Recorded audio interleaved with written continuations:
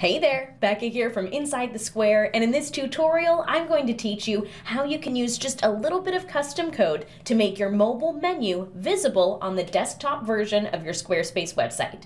Now, as always, the codes I'm about to share with you are listed in the description below, but in the second half of this video, I'll teach you how to make this mobile menu only take up part of the screen on desktop, because sometimes a full screen menu on a large computer screen isn't exactly the style you're going for for. So two codes are listed below. Let's hop into my demo site so we can take them apart and you'll understand what parts you're going to want to change to make it look amazing on your own website.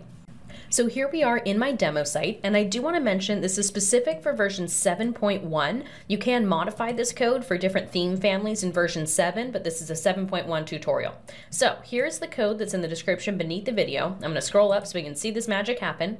We're going to navigate to design, and then scroll all the way down to custom CSS at the bottom. This is where you're going to paste the code. Now if you already have CSS in here, don't worry about it. Just enter a new line and paste the code there, and you'll see all of my links and my button went away, and now I actually see the link for my mobile menu right here on the desktop version of my site. So this right here is for the first line that says display the burger or the header burger, if that's what it's called in code here, but display this little menu. Then after that, we said don't show the main navigation or the action buttons. So if you have social media enabled or that button like I had on my site, those will disappear. If we remove this line of code, you'll see that gets pushed right next to the burger and we don't need that. So that removes those two options there. Now after that, we've added a code that makes sure we can actually see the menu when it's open. So if I click on this icon, we'll get the full screen mobile menu on the desktop version of our site. If I remove this code from CSS, if we don't have that, even when the menu's open, we're not going to see anything. We can click it open and click it closed, and nothing will be visible. So we've got to have that extra line of code right there. Now this does create a full screen menu. Our mobile menu takes up the whole page, but I've seen a few websites out there that only show the mobile menu on part of the site. So we're going to do that as well. We're actually just going to add a little bit of extra code to this last line right here. We're going to add width 50%, so it'll only take up half of the screen.